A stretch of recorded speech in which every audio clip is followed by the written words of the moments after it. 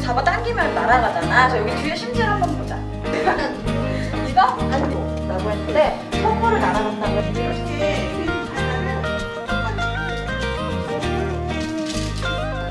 이제 점점 이렇게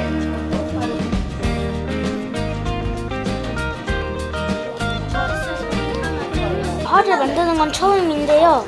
뭔가 되게 재밌어요. 팔은 아무나 만들 수 있는 게 아니에요.